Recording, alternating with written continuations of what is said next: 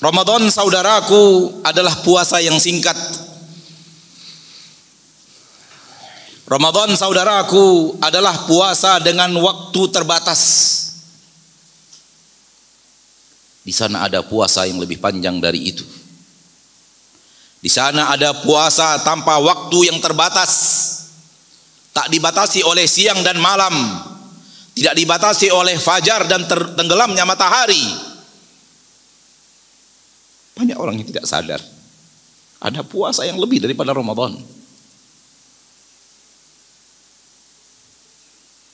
Allah menyuruh kita menahan diri dari aneka ragam yang Allah benci, yang Allah murkai, yang Allah laknat. Dan itu puasa sepanjang sepanjang masa.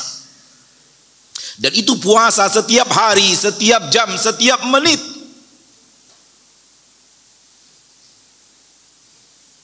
Kenapa kita ber, kenapa kita terlalu fokus kepada puasa terbatas dan kita lalai dari puasa yang seharusnya kita lakukan setiap hari.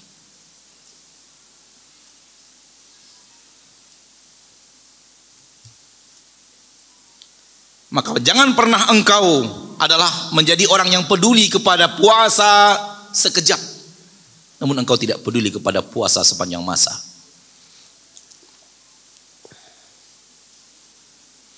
Jangan engkau berpuasa, puasa orang awam. Hanya menahan dirimu dari makan dan minum.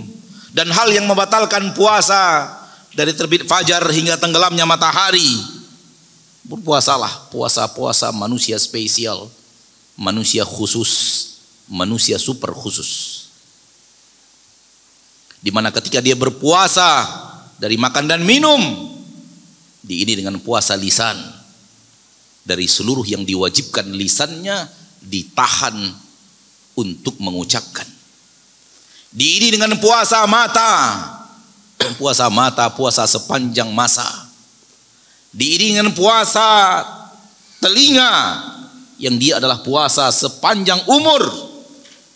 Diiringi dengan puasa tangan, puasa kaki, puasa hati yang dia adalah puasa sepanjang usia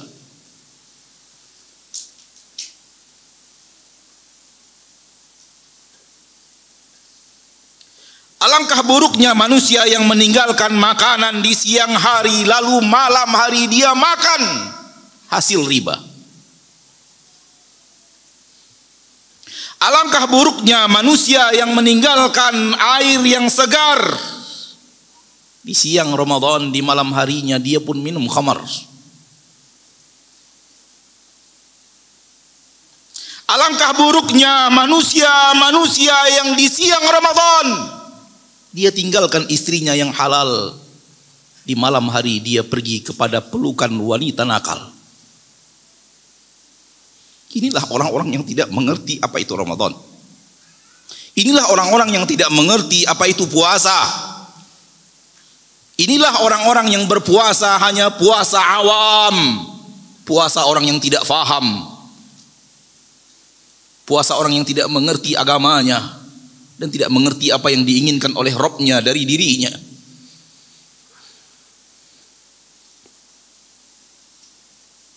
Sekiranya nasi dan lauk pauknya jus dengan aneka ragamnya yang sudah Allah halalkan di seluruh bulan kecuali di siang Ramadan Allah haramkan semua itu dihalalkan di, diperintahkan kita untuk menikmatinya dengan firman Allah kulu washrabu makanlah minumlah makanlah minumlah di seluruh bulan selain Ramadan dan di seluruh malam-malam Ramadan disuruh kita untuk makan dan minum dari hal-hal yang Allah perintahkan kita untuk makan dan minum. Kalau yang Allah perintahkan kita makan dan minum, Allah sudah haramkan di siang Ramadan. Apa nasib zina? Apa nasib riba? Apa nasib durhaka? Di siang Ramadan. Apa apa nasib zina mata? Apa nasib ghibah, namimah, memfitnah? Apa nasib suudzon? Apa nasib mencurigai? Nasib memata-matai?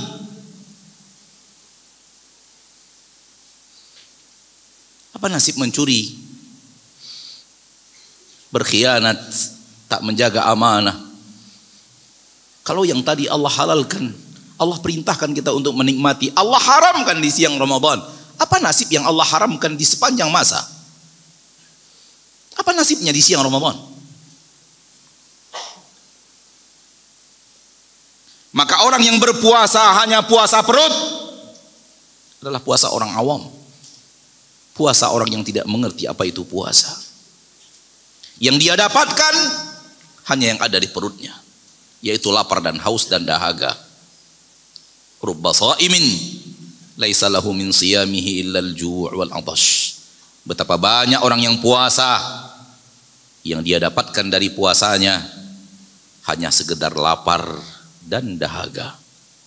Tak ada yang lain. Pahala yang kamu harapkan, jangan harap Ampunan yang kamu inginkan, jangan harap. Surga yang kau canangkan, jangan harap. Kalau puasamu hanya puasa orang awam. Mempuasakan perut, tapi tidak mempuasakan lisan. Mempuasakan perut, tapi tidak mempuasakan mata. Mempuasakan perut, tapi tidak mempuasakan kaki dan tangan.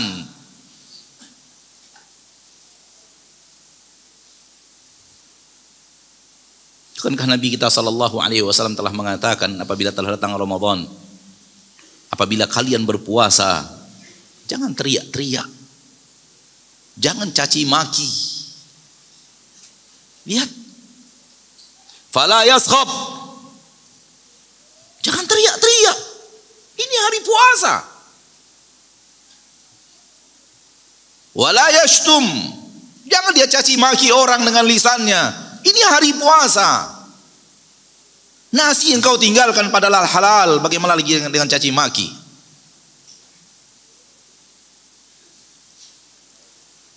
Apabila dia dicaci oleh orang, dia dimaki oleh orang, jangan balas. Katakan, saya orang yang berpuasa. Saya orang yang berpuasa, apa maknanya? Apakah mengeluarkan cacian, membalas cacian, membatalkan puasa? Jawabannya tidak. Tapi kenapa jangan jangan balas dan katakan kepadanya, saya orang yang berpuasa.